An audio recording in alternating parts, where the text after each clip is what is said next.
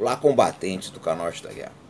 Tem um termo que eu só vi aqui na nossa comunidade, né, chamado promiscuidade militar. O que é essa promiscuidade militar? É a cooperação, muitas vezes, né, é, subterrânea, é, que existe entre alguns países, principalmente agora depois da guerra da Ucrânia. Então, eu acho que tem aí praticamente um quadrilátero né, que vai da Rússia para o Irã, do Irã para a Coreia do Norte, da Coreia do Norte volta aí para os grupos insurgentes apoiados pelo Irã e a China também participa aí apoiando principalmente a Rússia. Como é que essa essa eu chamo de promiscuidade militar porque ela se espalhou efetivamente depois da guerra da Ucrânia. Já existia, existia uma cooperação muito grande aí entre esses países, principalmente é, Rússia e Irã, tá? Mas ela, ela se espalhou bastante depois, tá? Então o que acontece? Vamos, vamos colocar ela assim por setores. A cooperação entre o Irã e a Rússia. Sempre foi uma cooperação entre, eh, de altos e baixos, porque na guerra Irã-Iraque, a Rússia apoiou o Iraque. Depois, quando acabou a guerra, o Irã foi, né, ele estava sancionado pelos Estados Unidos, foi obter material para a Rússia, é, mas teve o estresse aí que o Irã estava comprando os sistemas antiaéreos S-300 dos russos, e na época que os americanos tentavam forçar um, um acordo nuclear do Irã, que acabou saindo em 2015, a Rússia se alinhou com os Estados Unidos. Vocês verem como é que os países não têm amigos, eles têm interesses, né? Então eles postergaram muito essa venda dos S-300 aí para o Irã. E o Irã já tinha pago uma parte desses sistemas para a Rússia, mas depois eles acabaram acabaram se acertando depois que o Irã assinou aquele tratado lá, né?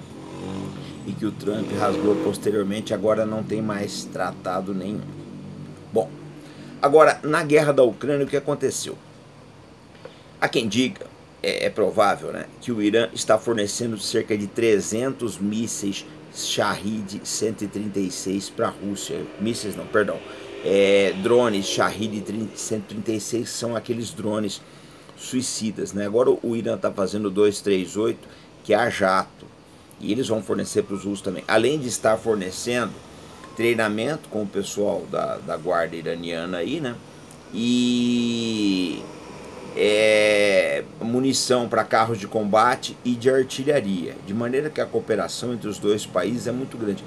Na contrapartida, aqui que a Rússia está fazendo? Eles estão vendendo sistemas é, S-400 para o Irã, jatos Su-35, já entregaram o Yak-130 também, e a gente acredita aí que a Rússia vai ajudar o Irã em, em algumas tecnologias mais sensíveis, podendo até haver cooperação na área nuclear. A gente não sabe, né? Se isso vai acontecer ou não. Cooperação na área de mísseis hipersônicos, isso eu não, eu não duvido.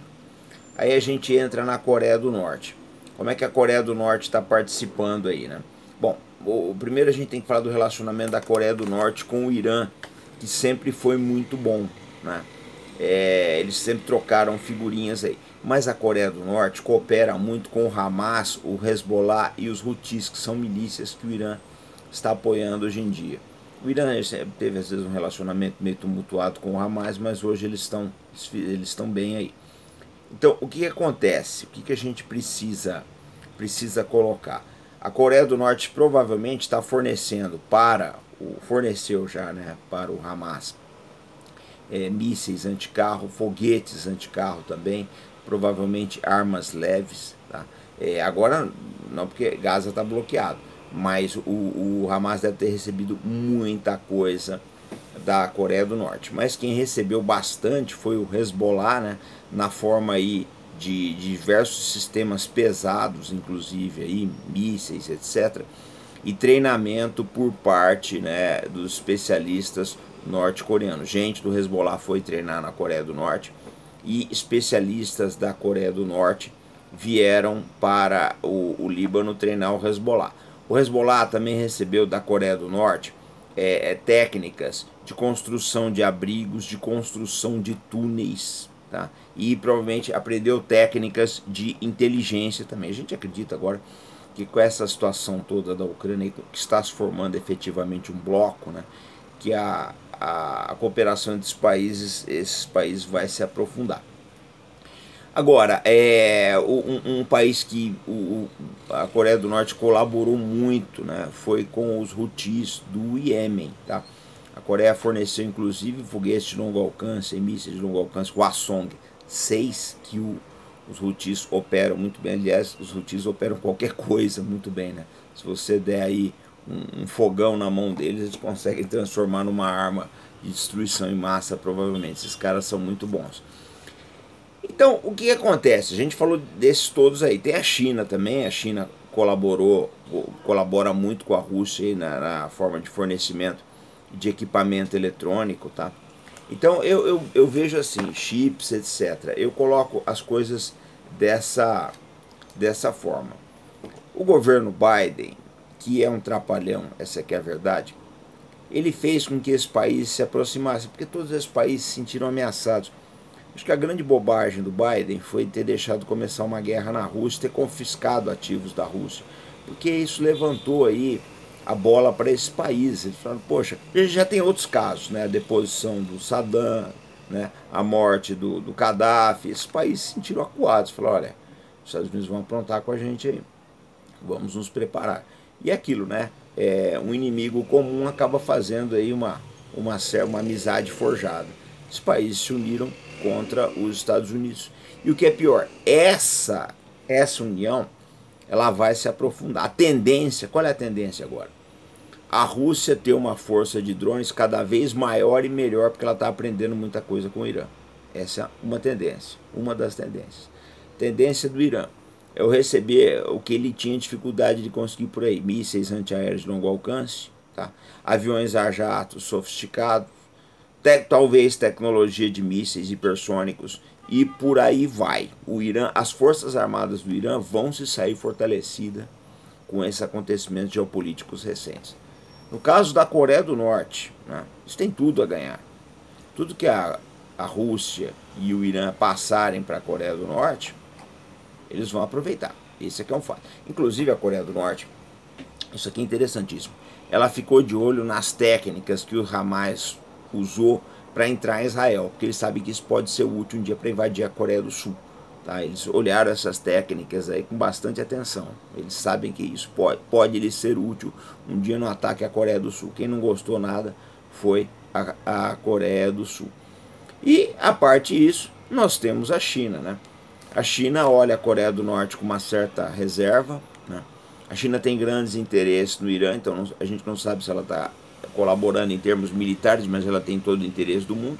Agora, o relacionamento do, do chinês com o russo em termos de tecnologia militar é favorável à China, porque a Rússia tem condições de fornecer muita tecnologia que o chinês precisa. O chinês precisa da tecnologia, não do insumo em si. O insumo ele fabrica.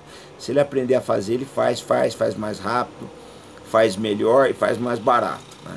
E quais tecnologias que os chineses precisam aí da Rússia? as tecnologias de jatos, que o chinês ainda está atrás do russo, tá? alguma coisa na área de mísseis hipersônicos, né? e por aí vai. Eles têm muito a pegar com tecnologia de motores aeronáuticos também, eles têm muito a pegar, a aprender com os russos. A Rússia ficou numa situação, os Estados Unidos jogou tanta coisa em cima dela, que hoje em dia o que o chinês pediu, os russos vão acabar dando. Porque eles sabem o seguinte, se eu armar chineses, norte-coreanos, iranianos, né, sírios, etc., eu vou estar dando problema para os Estados Unidos, que é isso que interessa. Os Estados Unidos hoje é o, é o grande, é o grande problema desse país aí.